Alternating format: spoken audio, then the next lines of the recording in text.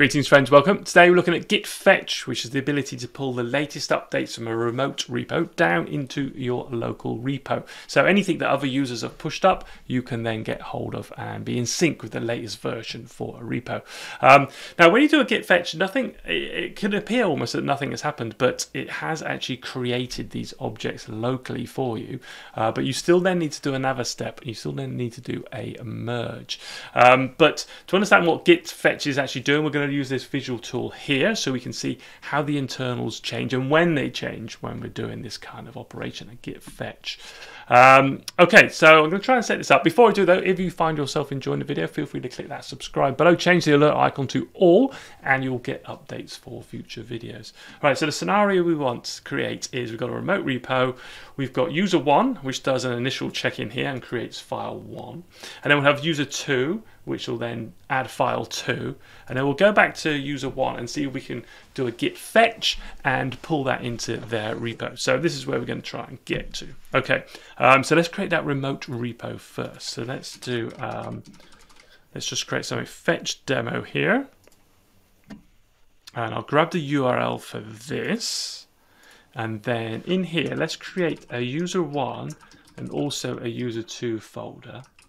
Uh, I'll go into user one and we'll we'll clone that new repo, that fetch demo repo into here. And then we'll do that initial commit of where we create file one. So if I do test into file one, and we uh, we add that into the repo, and we just give it an initial commit. Now, I want user 2 to grab that. So let's go into user 2. We'll clone the... Actually, I needed to push that up. Uh, let me go back into user 1. Uh, user 1. And we'll do a git push. So that so we've got file 1 locally. We've pushed it up to the repo. Uh, and now we want user 2 to, to get hold of that to start with. Let's go into user 2 and then I'll just clone it for this one here. So I'll clone it locally. And then you, so if we look at the log, we've just got the initial commit. Yep. Just make it smaller so it doesn't wrap so much. Um, now we want to create a new file here. So let's again, let's just put some text into a file 2 like so and add that into our repo um, added file 2. Now, if I push that up, this is the scenario where we can now try and get this file 2. User 1 wants to try and get file 2. Um, so let's clear that out. Go back into user 1. Sorry, whoops, uh, user 1. And now if I run the um, the the tool to get the visual, the internals of Git again. This is a scenario, that's our end scenario. Um, now I've run this, let's see where we are now. So currently in user one's repo, we've just got the initial commit here and it's pointing to file one there.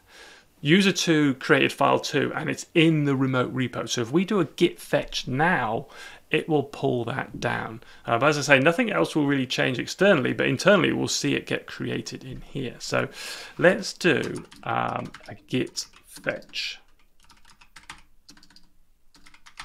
Like so. And then run our tool again to examine um, git internals. You can see we've got two commits there now. Um, so I'll do this uh, in a new one here. So we can compare them.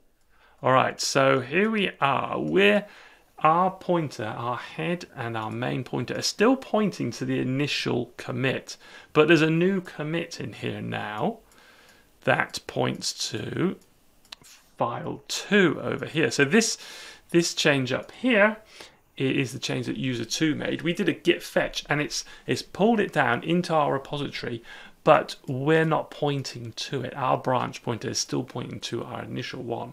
Um, so when we look in here, if I do a git status, um, it's saying, yeah, we're one behind and we want to do a git pull. Now, git pull, by the way, is the combination of a git fetch and a git merge.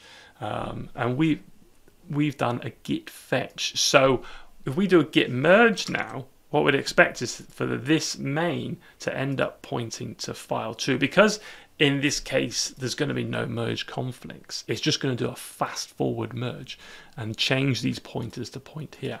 If there was a conflict then you're going to get um, a, you're going to get a different commit there but in this case it's just going to fast forward it for us. Um, okay so that's where we, so we started off here with user one just the initial commit we did the fetch, which pulled down this guy here, but our main still points to this. Now we want to update our branch to point to that latest one, and that's what we do with the git merge. So if I do git merge, it knows that we've got a remote branch and it will it will work this out for us. And it will do just a fast forward merge. And so if I run our update again now, and then come back into it here, just get this to display it,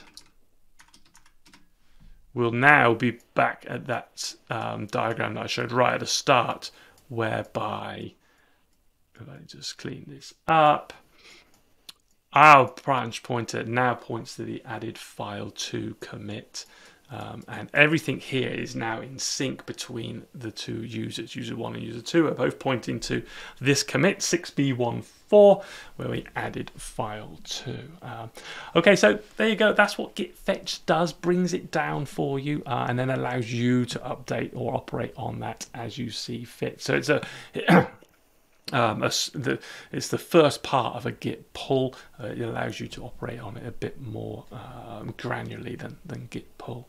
Okay, I hope that was interesting. Hope that was interesting. Thanks very much for watching. Uh, give me a thumbs up if you liked it, thumbs down if not, and I'll catch you next time. Bye.